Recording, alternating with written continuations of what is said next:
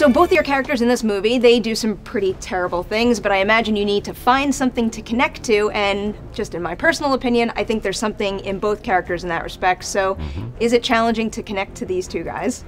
There's a challenge with every role to, to work out what are what are the connections for you as an actor, and what are what will the connections be for someone watching it. So, what's the, what are the dimensions of, of the character?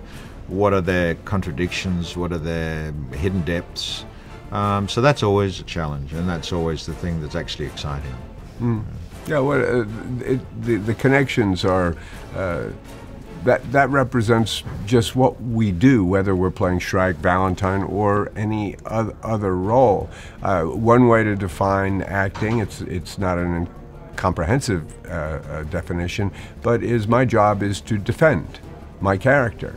My job is to be the advocate for my character's point of view, for his needs you know, on a moment-to-moment basis. And and and with Shrike, uh, the path was the, the the the objective was clear to me, but the path there is a little less clear. There, that was strewn with all kinds of choices. It seems to me. Have you ever run into an issue with a villainous character where you can't connect in terms of like I always find it to be most interesting when even though I can't root for a villain, I can understand what drives them to want to accomplish that thing. And I think that's really strong in this movie for both of these guys. Have you ever been offered a villainous role where it is kind of flat and you don't really know what's getting them there? Don't don't take the role. Yeah, don't take the role. It's real simple. I'm- It's just a poorly written role, probably.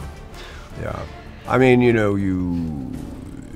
Yeah, I would say that that really is the. I mean, the, the bottom line the- answer the- on it's that. a label. So a villain is a mm-hmm. label, and, and and and you you, you know you shouldn't you shouldn't judge. Why why why do we want to judge characters? Why don't we want to understand them? Certainly, an actor needs to understand the the whys and wherefores of that person, what makes them tick, why they're doing what they want to do, and indeed, all of us should try to should seek to understand the other rather than to judge the other, because otherwise we have no we never learn anything in life, you know. So Well, it's uh, movies movies make this this um, very simplistic. They invite us to, to go. That's the hero. That's the villain. That's the hero. But it's a simplistic way of looking at life. And sure, it's, it could be a, uh, that's what you want in entertainment. But actually, we kind of need a lot more. I feel like the labeling versus understanding idea is applicable to all areas of life, even beyond movies. Well, the actor is the one person who can't judge the character that he's playing, knowing full well you're going to be judged by everyone, uh,